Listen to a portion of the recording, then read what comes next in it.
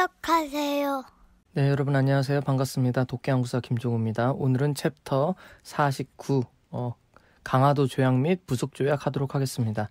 이쪽 파트는 여러분 어, 무조건 강화도 조약이 제일 잘 나옵니다. 강화도 조약, 조일수호조규 어, 내용, 제거 어, 필기노트에 있는 1관, 2관, 4관, 7관, 10관 내용 다 알아야 합니다. 다 알아야지 이 문제 풀 수 있습니다, 여러분. 엄청 중요하니까 이건 무조건 어, 닥치고 암기하시기 바랍니다. 어, 그러면 내용 들어가도록 하죠. 강화도 조약입니다. 조일수, 조규라고 하죠. 1876년에 체결했습니다. 배경부터 보도록 하죠.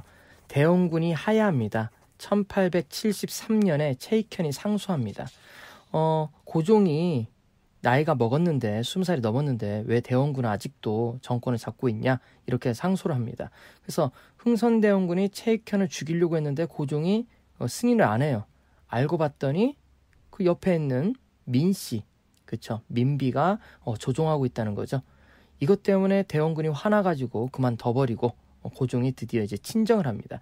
근데 고종이 친정한다고 하는데 어, 실제적으로는 이제 민씨가 권력을 장악한 거나 마찬가지입니다. 국왕의 칭정, 그 다음 통상 수교가 완화됐다. 언제나 집권하면요, 전 집권한 사람과 반대로 갑니다. 어, 흥선대원군이 통상 거부 정책을 하니까 이제 민 씨는 통상 수교를 이제 완화하는 정책으로 반대로 합니다. 어, 역사에서 많이 나옵니다, 여러분. 지금도 그러죠? 전 정권하고 무조건 반대로 하죠. 다음 정권도 아마 지금 정권하고 반대로 할 겁니다. 어, 여기 나오는 최익현은요, 어, 대원군 하야상소했고요. 그 다음 외양일체론, 을사의병, 그리고 대마도에서 순국하신 분입니다. 어, 이분도 잘 나오니까 여러분 잘 보셔야 합니다. 어, 대원군 하야상소, 외양일체론, 그 다음 을사의병, 이렇게 어, 세개 기억하시 기 바랍니다. 그 다음 통상개합파가 성장하는데요. 박규수, 오경석, 유홍기입니다. 그래서 암기TV 수석기죠. 수석기, 박규수, 오경석, 유홍기, 수석기. 어, 박규수는 양반 관료고요. 오경석은 역관입니다. 해국도지 영환지략 소개했고요. 그 다음 유홍기는 의관로서 백이정승이라고 합니다. 김옥균, 박용효 등을 교육했습니다. 음, 3명 꼭 기억하세요. 한 명이 양반이고 두 명은 중인입니다. 어, 특히 박규수는 박지원의 손자입니다. 음, 임술 농민봉기 때 안핵사 로 가가지고 삼정 이정청을 설치했죠. 그리고 제너럴 셔머노 어, 소실시킨 사람입니다. 그다음 일본의 야용 야욕 보도록 하죠. 일본이 어떤 야욕을 가지고 있었는지 메이지 유신 이후 외교 관계 개선을 요구합니다. 서계 사건 일본이 조선에 외교 문서를 전달하는데 조선이 이 문서를 거부합니다. 음, 원래 있었던 대마도 음, 이 통해서 오지 않고 바로 왔다는 거죠. 그래서 거부합니다. 그래서 일본이 열받아가지고 이제 정한눈이 대두돼요. 정벌하자 한국을 어, 한국을 정벌하자는 정한눈이 나타나는데 이게 운요 사건으로 이제 어, 확대됩니다. 운요 사건은 이제 일본의 어, 운요라는 그 군함을 우리나라에 파견한 거죠. 그래서 마찰이 있게 하고 이걸 빌미로 이제 강화도 조약을 체결하게 합니다.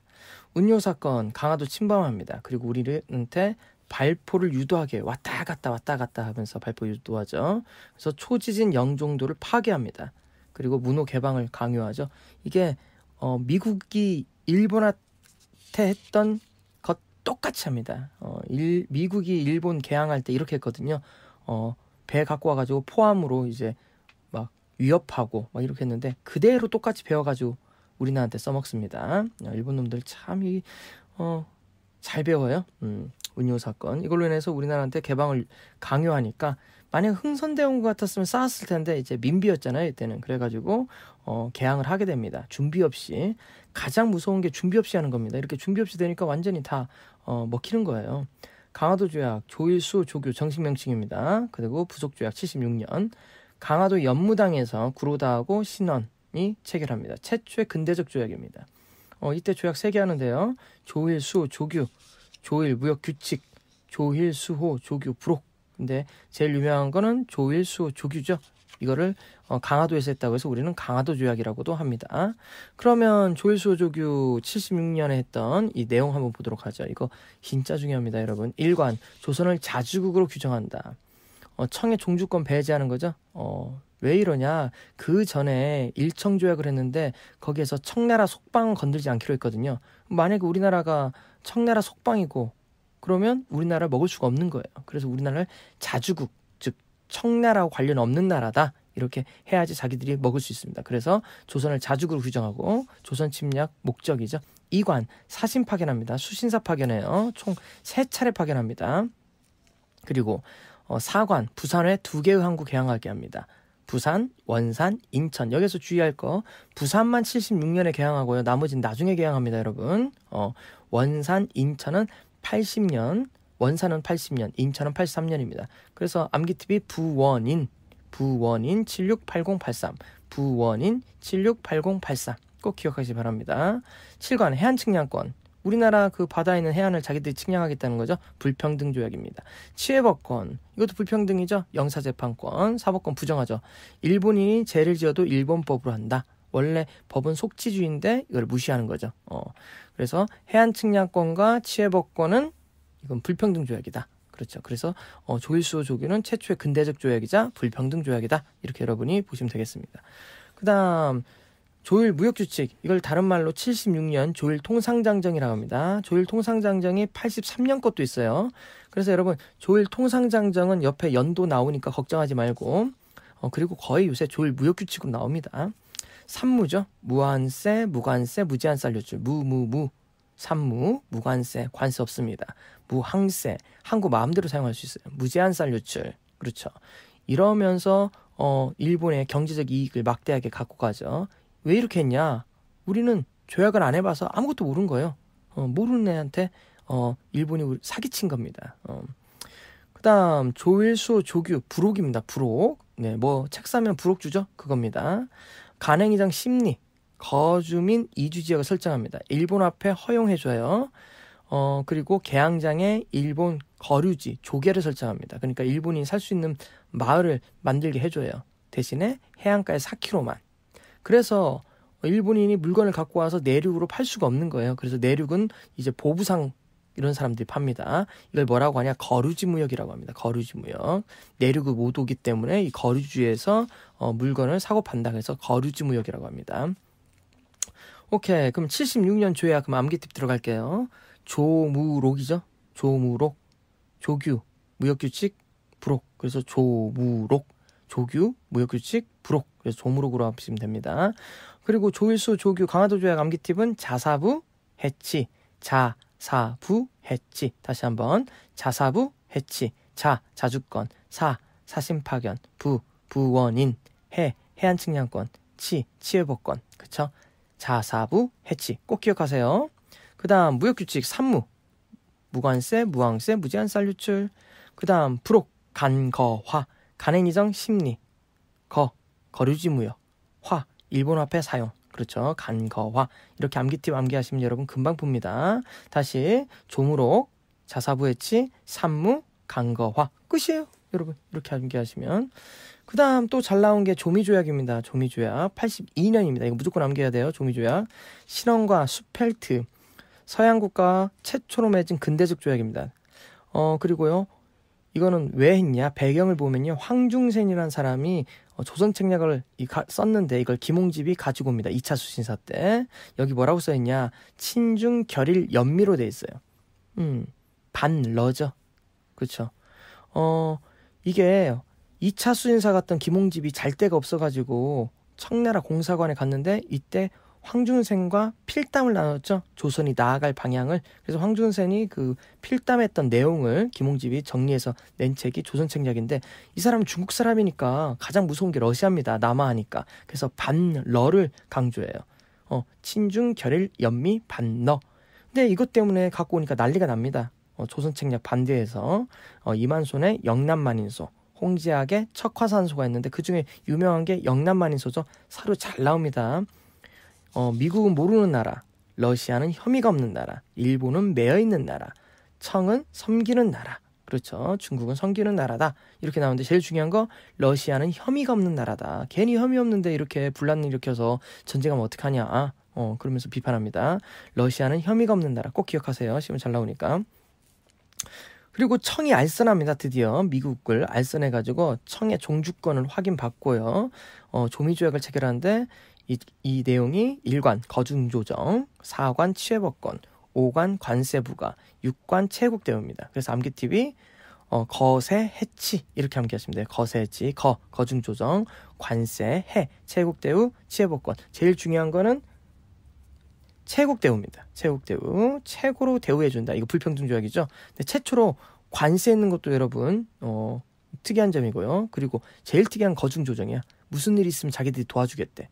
왜 그랬냐? 우리나라가 엄청나게 금이 많고 어, 자본이 이 자원이 많은 나라인 줄 알았어요 미국이. 그래서 어, 잘 보이려고 이걸 했는데 와서 조사해 보니까 없어 자원이 세 개밖에 없었대요. 머리카락, 쌀, 소가죽. 그래서 미국이 그 다음부터는 조선에 관심을 안 둡니다. 그래서 불간섭 원칙을 하죠. 말만 이렇게 한 거예요. 거중조정, 취해복권, 관세, 체국대요. 그래서 암기팁은 거세했지 이렇게 암기하시면 됩니다. 어, 의의는 서양과 맺은 최초의 조약이고요. 불평등 조약입니다. 체국대우 규정으로 이권 침탈의 원인을 제공했다. 여기까지 여러분 보시면 되겠네요. 그 다음 기타 서구 열강 통상수교 이건 그러면 간단하게만 읽을게요. 별로 잘 안 나오니까 조영 통상조약 영국과 83년 조독 83년 치해복권 제국대우 똑같습니다. 조이 이탈리아와 체결한 거죠. 근데 중요한 것은 조러하고 조프만 알면 됩니다. 여러분 조러 베베르가 주도하고 청 알선 없이 자주적으로 했다. 그쵸 독자적으로 했습니다. 이게 중요합니다. 그래서 러시아가 이제 남하는 같으니까 영국이 검은도를 점령해 버려요. 이게 그래서 조러 조약은 검은도 사건의 원인이 되었다. 이렇게 보시면 되고 조프 조약이 제일 늦게 합니다. 그 이유는 천주교 표, 포교 인정 문제 그러니까 종교 문제 때문에 늦게 한 거예요. 그래서 이 서구 열강 순서는 미영독 이러프 이렇게 여러분이 암기하시면 됩니다. 미영독 이러프 미영독 이러프 미영독 이러프 미국, 영국, 독일, 이탈리아, 러시아, 프랑스. 이렇게 여러분이 암기하시면 되겠네요. 그 다음 일본과 통상조약. 이제 82년 이모군란 직후에 속약을 체결합니다. 조일수 조규 속약 어, 여기 검은 이 재물포 조약과 동시에 체결합니다. 간행이정이 10리에서 50리, 50리에서 이제 100리로 이제 1년 후에 양화진이 이제 개항하게 됩니다. 어, 그리고 일본인 외교관과 수행원 가족이 내지 여행권 확보합니다. 음, 그래서 조일수 조규 소약은 10, 50, 100으로 여러분이 암기하시면 되겠습니다. 그 다음 조일통상장정 관세 인정합니다. 드디어 대신에 받아요. 뭘 받냐? 체국대우를 받아요. 체국대우를 받고요. 그 다음 방공령 실시할 경우 사전 통보해라. 한 달 전에. 그렇죠. 근데 이것 때문에 나중에 89년 우리가 방공령 실시할 때 통보했는데 일본 놈들이 안 받아가지고 배상금 지불하게 된 원인이 됩니다. 그래서 조일통상정정 방공령 때문에 좀 나오긴 합니다. 관세, 체국대우, 방공령, 방관해 꼭 기억하시 기 바랍니다. 오케이. 좋습니다. 어, 여기까지 하시면 여러분 일본과 조약 암기 팁을 한번 볼게요. 이거는 조무록 속통으로 여러분이 암기하시면 됩니다. 조무록 속통 이거 수업 시간 했죠? 조물 조물 조물 조물 조무록 속통 조 조규 무 무역 규칙 록 부록 속 속약 통 통상장정 이렇게 여러분이 암기하시면 됩니다. 조무록 속통 암기 팁만 하고 마, 마무리하도록 하겠습니다. 조규 자사부 해치 자사부 해치 무 삼무 록 간거화 간거화 속 10, 50, 100, 통 방관해 방관해 오케이 좋습니다. 조무록 소통 자사부 해치 자주적 그 다음 사신 부상계양 해안측약권 치해법권 산무 무항세 무관세 무제한 쌀유출 간거화 간행이정 어, 심리 거류지무역 그 다음 일본 화폐 사용 그 다음 속 어, 십리, 오십리, 백리, 그 다음 방관에, 음, 방공령, 관세, 채국대우 이렇게 되죠, 여러분. 꼭 기억하셔야 합니다. 이 중에 제일 중요한 거는 자사부의 지, 조규입니다. 조일수 조규 강화도 조약이 제일 중요합니다. 됐습니다, 여러분. 그러면 여기까지 하고 우리 다음 시간에 또 만나 뵙도록 하겠습니다. 고맙습니다.